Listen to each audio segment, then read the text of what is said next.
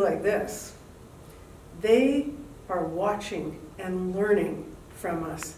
It was one of the most incredible experiences of my life. Oh. And I'll just end with um, it's kind of science and poetry, you know, to think of like the theology of other cultures in the world. And the Tahitians actually believe in the octopus god. Like before the Christian missionaries showed up, they had a big eight sided temple to the first being, which mm. to them is the octopus, Nakika. Um, with its eight strong arms, it was said to have shoved the islands up from Tahiti, right from the bottom of the Pacific Ocean, where the sky beings dropped it, mm. to the northwest coast of British Columbia and Alaska, where the native peoples say that the octopus controls the weather and wields power over sickness and health, to Hawaii, where ancient myths tell us our current universe is really the remnant of a more ancient one, the only survivor of which is the octopus, who managed to slip between the narrow crack between worlds. so, yeah. Hmm. Sy Montgomery. Come and check out the other books by her. They're such eh, eh, fascinating and intelligent creatures. I've seen a, a few uh, documentaries about them, and it's just amazing the way they are because they're such, they're such creepy little critters, right? They're so different. But they're really, they're, they're really different in, you know, yeah.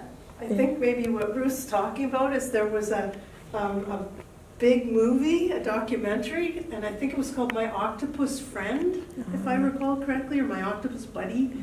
And it was a South African marine biologist, I believe that's mm-hmm. what he was, that um, you know went diving down where he lived and met an octopus and became friends with this octopus and started filming. And uh, I've seen the movie it is incredibly touching yeah. and, and, and mind blowing. Again, like some creature that's so different to us, and yet, you know, these human beings have found a way to actually communicate with it. I, I, wow.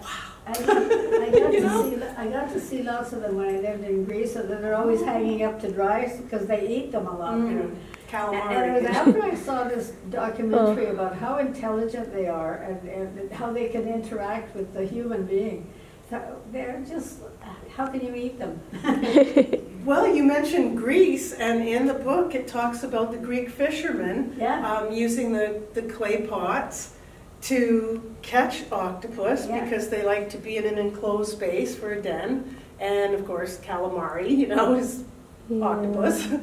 And I mean, human beings pretty much eat everything, don't don't we? I mean, as individuals, we might not, but as a species, yeah. we can be yeah. pretty gross. But um, yeah. octopus is, is they do taste good. I, they do taste good. I saw that. Yeah. I thought, you know, how can you eat them? They're, they're such friendly creatures. Well, that's the thing. I think once you, it's the same with the pig. Like I used to eat meat, and I mean, I still will once in a while. But I'm telling you, after I read that book, The Good Good Pig I just couldn't enjoy pork the way that, you know, I used to. Then I had to go read the book about the chickens. Oh my God, that ruined chicken for me, you know, because they have so much personality. For and, sure.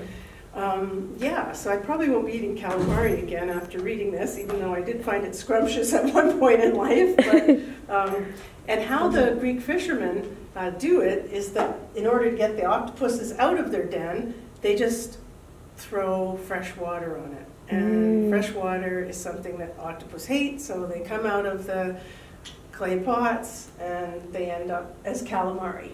Calamari, yeah. Yes. I and, thought, oh sorry, I thought oh, no. calamari was squid.